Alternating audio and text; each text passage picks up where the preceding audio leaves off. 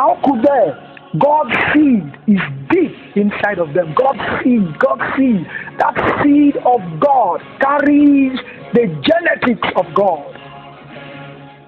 And that genetics, a particular genetics it carries, is a genetic composition called love.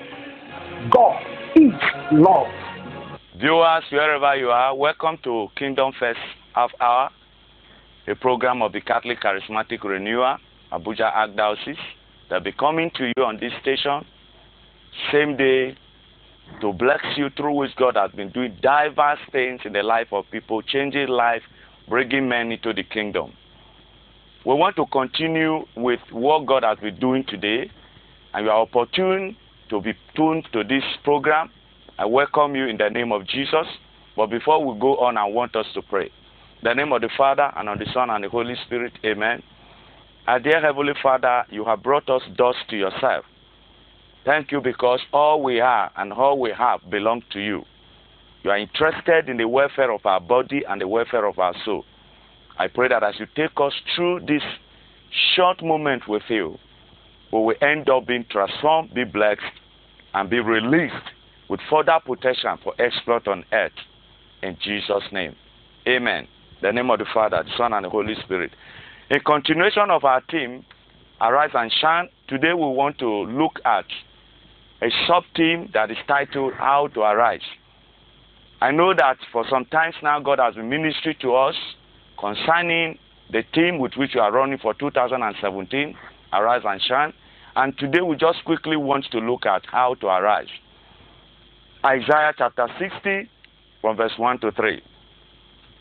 And he said, Arise, shine, for your light has come, and the glory of the Lord is risen upon you. For behold, darkness shall cover the earth, and deep darkness the people. But the light, the Lord will rise, arise over you, and his glory will be seen upon you. The Gentiles shall come to your light, and kings to the brightness of your rising. May the Lord bless the reading of his word in our heart, in the name of Jesus. How to arise is what we are looking at. The word arise, being the first part of our theme, is a command. A command that have peculiar characteristics, which I just want us to mention before we look at how to arise. The first peculiarity of this time we are looking at today is that it is urgent. It appears that God is in a hurry.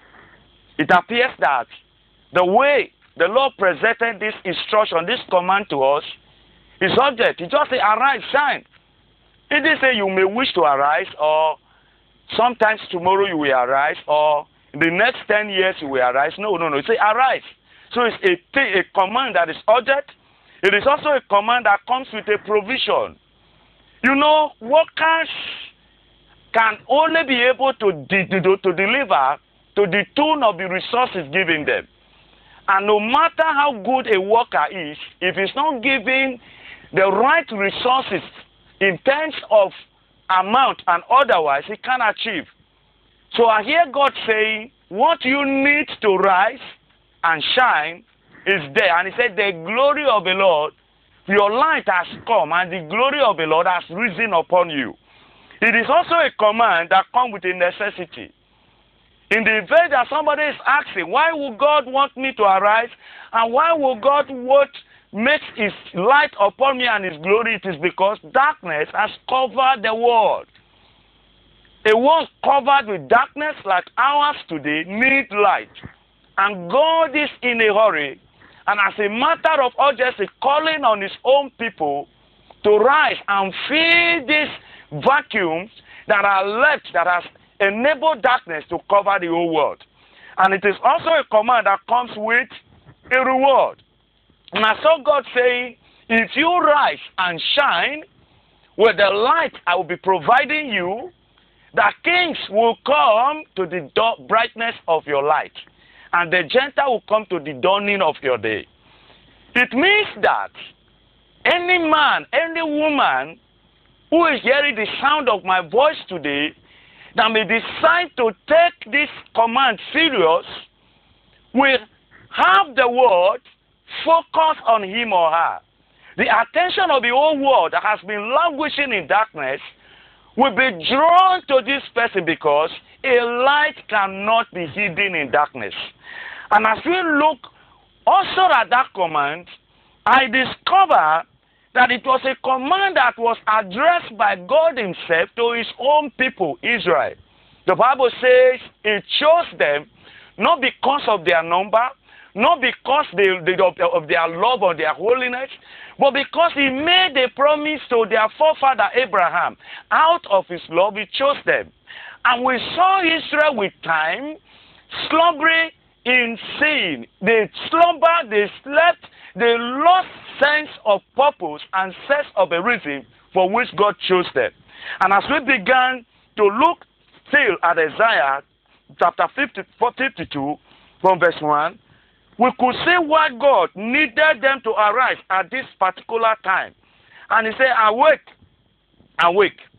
Put on your strength, O Zion. Put on your beautiful garment, O Jerusalem, the holy city. For the uncircumcised and the unclean shall no longer come to you. Shake yourself from the dust. Arise. Sit down, O Jerusalem. Loose yourself from the bond of your neck, O captive daughter of Zion. It means that Jerusalem, even when they were choosing, they slumber. They slumber into the dust of sin. So they were taken captive by the power of the enemy. They sold themselves. As you read forward in this scripture, you could see God saying, Where is the certificate of I selling you? God was questioning, I didn't sell you, you give yourself out. And it is like our generation today where everywhere is covered with darkness, is covered with gloom. There is a lot of evil being perpetrated Sin is walking on his two feet on the street. Everywhere you go, it appears that the kingdom that is being projected and perpetrated is only that of the sinful one, the devil. Corruption in all places, killing, bloodshed, marriages are failing. People bear Christianity by name, but by action, no way. You enter anywhere, you could no longer distinguish an Israelite from a Gentile, just as in our day, you cannot distinguish a, a sinner from a Christian. It was, it is clear that people whom God has chosen have lowered themselves to the very level of others that one now begin to think as God, no man or no woman on earth again does it? Is there no remnant of the people of God on earth today? God, therefore, is sending us this signal, a command, that we need to arise in this nation. That you looking at me, you need to arise in your family. You need to arise in your place of work. You need to arise where you do your business. That it is enough complaining but you need to stand up to your responsibility and begin to do your own side of it. I notice that God has done his own side by giving us salvation. Hebrews chapter 2, verse 2 said, The salvation he gave us is such a great salvation that we cannot toy or mess up with. It's such a great salvation that we cannot toy or mess up with. God has finished his own. When Jesus died on the cross, he said, It is finished. He has done his own part and he has concluded it. But as I look through the scripture, I discover that even when the salvation God gave us is great, it leaves us with some responsibility. In the book of Philippians, chapter 2, from verse 12 and 30, the Bible encourages us and said, We need to work out this salvation in fear and trembling. For it is God who gives us power both to will and to do in His good pleasure. We have a responsibility. Why it is the responsibility of God to make light available? Why it is the responsibility of God to enable us to shine? It is res- our responsibility to take a position. It is our responsibility to wake up from our slumber. It is our responsibility to arise. To arise because I notice that the light can only be able to give out its light to the extent to which it is placed. Where how high a light is placed determine how far the ray can go. God is saying instead of lying in dust, you should arise. That it is time for you listening to me now to awake. Enough of bearing that I'm a Christian, I belong to this denomination, I am ordained, I am this and that. Christianity that does not bring forth manifestation is not different from other religions. So the Lord says, we should arise. And quickly, for the want of time, I just want us to go straight to look at how are we going to arise. The Lord thing I want to say is that salvation God has given us is a product of knowledge. It appears that it's a product of knowledge. Jesus said to the Jews who believe in him in John chapter 8, 31, 32. He said, If you obey my commandments, then you will be my disciples. He said, And you shall know the truth, and the truth shall set you free. Brethren, being Jews, they were God's chosen people. Believing in Christ, they were Christians. Two advantages God's chosen people by birth, and God's chosen people by adoption in Christ. But Jesus said, if they obey him, they are his disciples.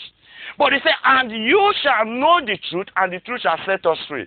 The level of knowledge a man has about certain principles in Christianity will determine the extent of exploit this person can make. So, I want to quickly lay by the inspiration of God few parameters or steps that we need to take. Number one, you need to know your value in Christ. If you will arise, if you will be able to arise, you must know whom you are in Christ. Christ has made you into something. You are valuable now in Christ. Let me talk to you, brethren, wherever you are, that you are no longer a non entity. But by virtue of the fact that you've given your life to Christ and you have been adopted by the Almighty in Christ into His family, you have a value. I am a valuer by profession. And I've come to discover that the price is paid for a particular commodity most times is an indication of the value it carries. I noticed as the Bible was speaking to us in First Peter chapter 1, verse 18 to 20, it was clear to us that we were not bought by perishable things like gold and silver.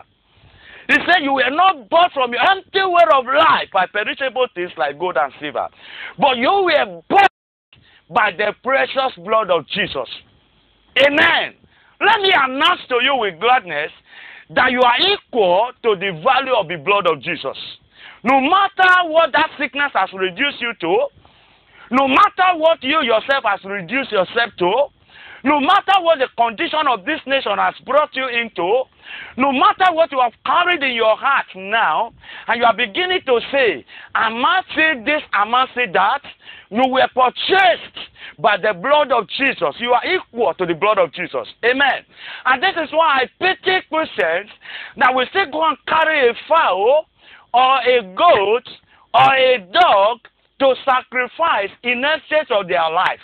Somebody bought with such a valuable blood and decide to reduce yourself to the level of a fowl. That is why you can still be eaten as a fowl by some witches and occult men. But you have been given a value. You'll be bought over. The life that you carry now is their life equal to the blood of Jesus. And Leviticus 17 11 said, The life of everything is in his blood. You are therefore equal to the life of Jesus. No wonder the Bible says, as he is in heaven, so we are. There is a grace that is hanging on you. There are protections that are deposited on you. God has transferred you from the level of not being to be somebody. Then you are a man of value. You are not a man that can be pushed aside. You are a man by virtue of your Christian who has been made into something. First, no wonder First Peter 2 9 said, You are a chosen generation. You are a royal priesthood. You are God's holy nation. And I have chosen you to declare the good work of Him who has called you out of darkness. And as we look at Colossians 2, verse 9, it started by telling us that the full deity of God dwells in Christ bodily, and He said, and in you is the fullness. If Christ now lives in you, and the fullness of deity live in Christ, you carry the totality of the blessed Trinity downloaded into your tiny soul. So you have a value in Christ. God has made you into something. You must recognize this and you must carry it as a person. Number two, you will need to learn to acknowledge, to appreciate, and celebrate this your new giving position. You will need to learn to acknowledge, to appreciate, and celebrate this new position given you in Christ. As the Bible speaks to us in Ephesians chapter, six, uh, chapter 2 from verse 6, it said to us that God has raised us in Christ to sit with Him in His heavenly realm. You now have a position by virtue of your value. It doesn't depend on what you can do or what you cannot do. God made it so. You are somebody of a rank. No wonder the Bible was speaking, saying that the power at work in us in Ephesians 1 is the same mighty power with which God has raised Jesus from the dead. You carry, you know, you can command a domain, you command a kingdom. You are a man to be reckoned with in this generation. And as we are looking at Romans chapter 8, verse 35, the Bible simply says that this position, this Lord, the Lord have extended to us, cannot, we cannot be separated from it. So, I wish that to let us know, praise God, that you need to walk in this mentality. Men and women who walk in this mentality we are those who were able to do extraordinary things. For example, our Blessed Virgin. Just a girl who have an encounter with an angel one day, and the angel says, The Lord is with you. Hey, Mary, the Lord is with you. Blessed are you among women, and blessed is the fruit of thy womb, Jesus. And a young lady took off to go and visit one of her kinsmen woman, Elizabeth, because the angel made mention of that issue, that she was pregnant. And coming, Elizabeth said, How can I be so honored to be visited by the mother of my Lord? Hear what Mary said. Mary said, My soul does glorify God, and my spirit exalt in God my Savior. And she went on to say, She said, Henceforth, all generation shall call me blessed. I want to let us know that Mary has not seen a visible sign of a pregnancy. Mary has not seen a physical appearance of the child. But because of the level of knowledge, and that by the pronunciation of the angel and the confirmation of Sister Elizabeth, that this matter was settled, she declared and said, All generations shall call me blessed. I say this also you said, Paul. But carrying this mentality and getting to know what God has made him into, said it clearly. He said, For I can do all things, not so, through Christ who strengthens me. I can do all things, not so, through Christ who strengthens me. And as he was speaking in the book of First Corinthians chapter 3, he said, All things are yours. You need to recognize this. You are a man that have been made to be able to change the situation of this country. God has released upon you grace to work upon the seas, the sea, and the trouble of the sea in this country. Many of us has given up. Many of us has lost faith because sins now abound. The love of many are worthy cold. Are you it called? Let me report to you, brother, sister, as you look at me now through this television, that God is in a business of turning nations around, not by multitudes, but by few people. The next step that you need to take if you want to shine is that you need to operate from the realm of courage and determination. You need to operate from the realm of courage and determination. In Joshua chapter 1, from verse 1 to 6, the Bible says, before they raised a man, Moses, Joshua was a boy that was attending to Moses. He was always with Moses. He saw Moses perform miracle. He saw Moses brought water of rock. He saw Moses and bread came from heaven for the children of God to eat. He saw Moses pray to God and quake came down. He saw Moses live a life of meekness. He saw Moses commanding respect. And all of a sudden, this Moses died. And at the end of the day, the Lord came to Joshua and said, You are the one to take up the leadership. Joshua look and said, There is no longer Moses. Joshua, the apostle, said, There was no longer Jesus who have taken away our Lord. But I said, God said to Joshua, You don't need Moses. You don't need a physical existence of one Jesus with you now. All it have you know that have made you into something is to be courageous and determined. God was simply saying that your courage in the pursuit of his righteousness, your courage and determination in his way can replace whatever you think you don't have now to be able to shine. They can replace whatever you think is lacking in your life for you to be able to shine. No wonder when God was addressing the people of Ephesus in Ephesians 16, he said to them to be strong in the Lord. You just need to be strong. Jesus said to the apostles in John 20, 21 that it is as the Father sent me that I have sent you. Go on until a man starts moving, things cannot continue, begins to happen. No man ever. No man ever recorded a deliverance. No man ever recorded a breakthrough. No man ever recorded a turning around of a situation to the glory of God until they began to put courage and determination in their pursuit of their God given mission. You are a child on a mission on earth. The next thing I want to say, the number 14 is that you must learn to handle your greatest enemy. And when I say handle your greatest enemy, some people will think I am talking of the devil. Fine and good. In First Peter chapter 5, verse 8, the Bible says Satan is our enemy. But I discovered experience that Satan does not just come out. Have you ever seen Satan come and say, Ah, I'm Satan. I want you to do no no no no no no. Gone were those days. Satan operates with instruments. The instrument of the devil is evil spirit.